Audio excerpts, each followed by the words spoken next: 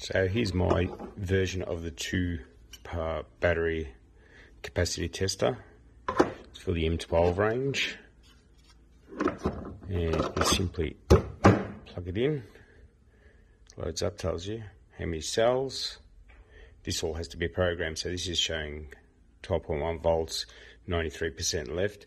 Let's just let's see how accurate that reading is. So grab some strips, make sure they ain't short. Grab my multimeter and put this to the test. There you go, 12.1 volts.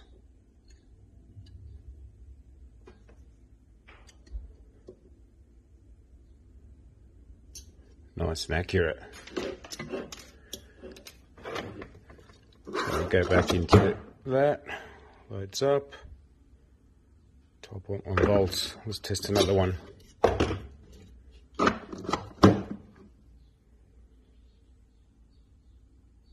Twelve point one.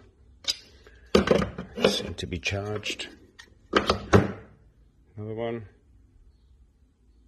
Here we go. That one's low. 10.1 volts reading. Needs to be charged. And last one there. 11.5, 70% capacity.